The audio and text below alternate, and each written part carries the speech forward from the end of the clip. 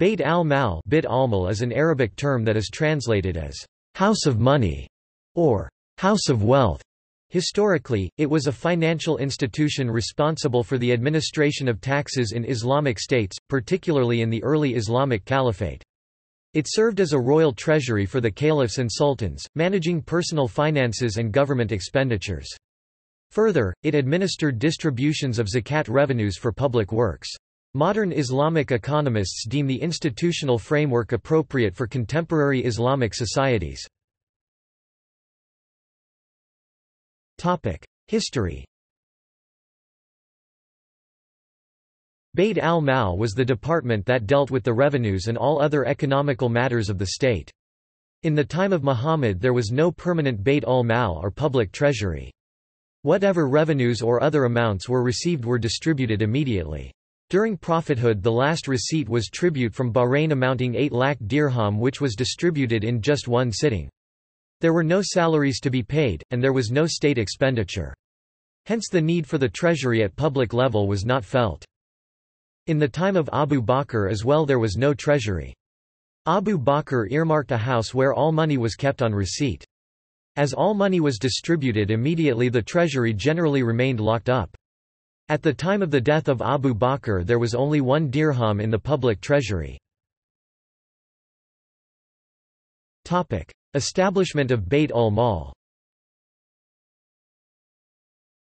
In the time of Umar things changed. With the extension in conquests money came in larger quantities, Umar also allowed salaries to men fighting in the army.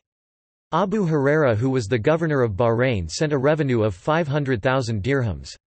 Umar summoned a meeting of his consultative assembly and sought the opinion of the companions about the disposal of the money. Uthman ibn Affan advised that the amount should be kept for future needs. Walid bin Hisham suggested that like the Byzantines, separate departments of treasury and accounts should be set up.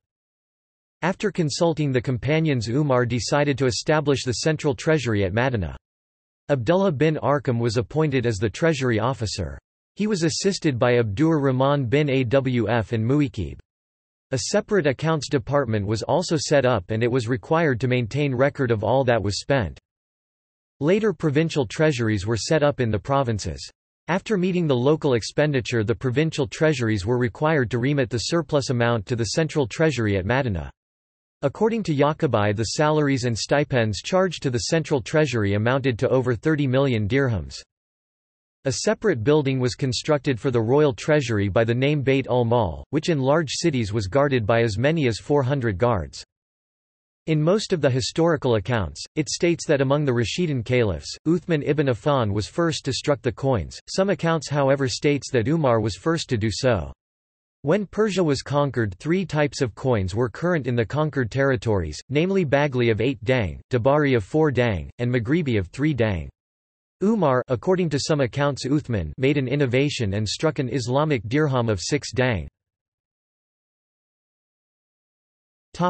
Charity The concepts of welfare and pension were introduced in early Islamic law as forms of zakat charity, one of the five pillars of Islam, under the Rashidun Caliphate in the 7th century. This practice continued well into the Abbasid era of the Caliphate.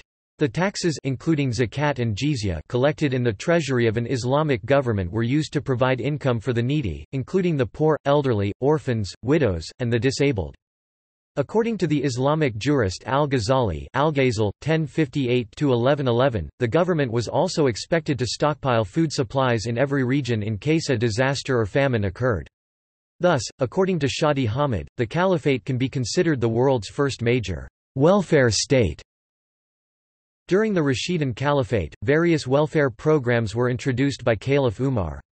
Umar himself lived a simple life and detached himself from any of the worldly luxuries, like how he often wore worn-out shoes and was usually clad in patched-up garments, or how he would sleep on the bare floor of the mosque. Limitations on wealth were also set for governors and officials, who would often be dismissed if they showed any outward signs of pride or wealth which might distinguish them from the people. This was an early attempt at erasing class distinctions which might inevitably lead to conflict. Umar also made sure that the public treasury was not wasted on unnecessary luxuries, as he believed that the money would be better spent if it went towards the welfare of the people rather than towards lifeless bricks. Umar's innovative welfare reforms during the Rashidun Caliphate included the introduction of social security. In the Rashidun Caliphate, whenever citizens were injured or lost their ability to work, it became the state's responsibility to make sure that their minimum needs were met, with the unemployed and their families receiving an allowance from the public treasury. Retirement pensions were provided to elderly people, who had retired and could count on receiving a stipend from the public treasury.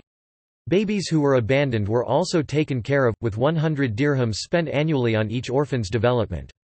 Umar also introduced the concept of public trusteeship and public ownership when he implemented the WAQF, or charitable trust, system, which transferred wealth from the individual or the few to a social collective ownership, in order to provide services to the community at large.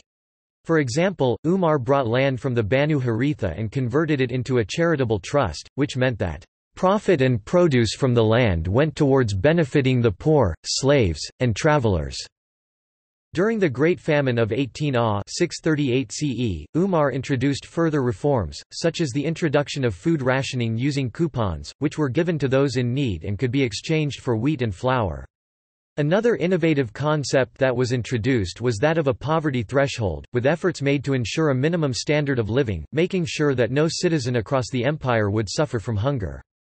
In order to determine the poverty line, Umar ordered an experiment to test how many seers of flour would be required to feed a person for a month.